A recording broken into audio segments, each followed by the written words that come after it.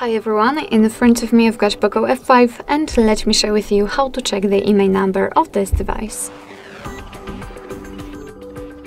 So basically we've got two different ways to check this number uh, or those numbers. Uh, the first one requires a secret code and it is the fastest way. And we've got also the second way by using the settings. Of course I'll show you both and let's start with a code Let's open the dialer because it is the place where we can enter it.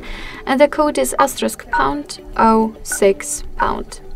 And as you can see uh, right here, we've got the information with both IMEI numbers for both SIM slots. Let's tap on OK and let me show you uh, the another way of checking the numbers.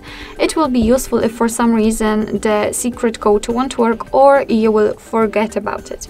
So let's enter the settings. Here we have to tap on About Phone and right now let's find detailed info and specs, probably.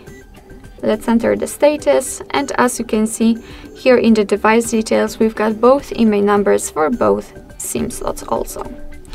Alright, so that's all. Uh, thank you so much for watching. I hope that this video was helpful and if it was, please hit the subscribe button and leave the thumbs up.